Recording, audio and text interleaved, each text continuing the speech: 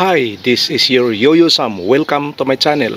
To all subscribers and non-subscribers, you are very much welcome. And if you have any comment, just go to the comment section of my channel and hit also the notification bell so that you will be notified as long as I have new upload. And thank you very much. Come on, let's go. Let's bolt in.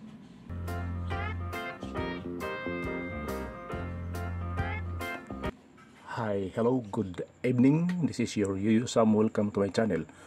So, sa gabing ito ngayon ay ako'y mag, uh, maggawa ng isang speed test dito sa aming globe. Ang aming planang globe ay 15 Mbps unlimited.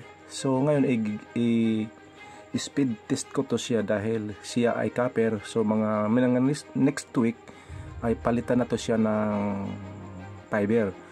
So kaya ngayon eh kumpara ko to siya at malalaman nyo kung gaano kahina o kalakas. Pero ang ina-applyan ko doon sa dito sa globe ng aming copper dati ay ang presyo nito ay 1,889 na tapos nung nag-pandemic bumaba siya ng mga 1,600 na lang dahil nag-rating sila nagbagong rate. Kaya ngayon at dumating ang fiber. So pumunta ko doon sa Globe Office upang ilipat ang aming fiber kung pwede ba kaming lilipat. Sabi ko kung pwede ba kaming lilipat na copper to fiber. Sabi naman ta ng taga Globe na pwedeng pwede at walang bayad ang paglipat sa copper to fiber basta ikaw ay kanila ng customer. So ang aking binabayaran sa 15 unlimited ay 1,600 pero umabot na ng 7 dahil yung telephone ko ay wala na sa kung yung hindi na kasama sa bundle kasi matagal na kasi hindi ko ni kinuha kasi kung ipaulit ko pa uh, mga isang buwan, isang taon lang panibago naman kaya pinahayaan ko na lang na ganun ang bayaran. So ngayon ay mag speed test. So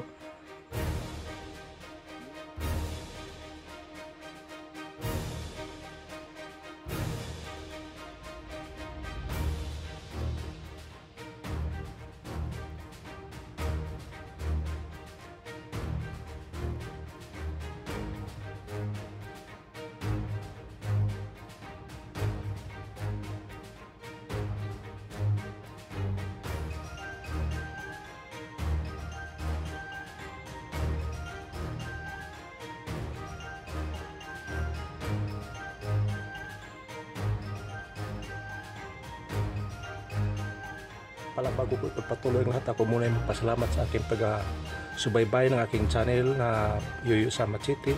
Thank you very much sa mga nag-comment at nag-like at nag-subscribe at nag-share. Thank you very much. So come on let's go. And speed test na ko sa copper. Ito ngayon wala na yung copper kasi pinalitan ng fiber optic.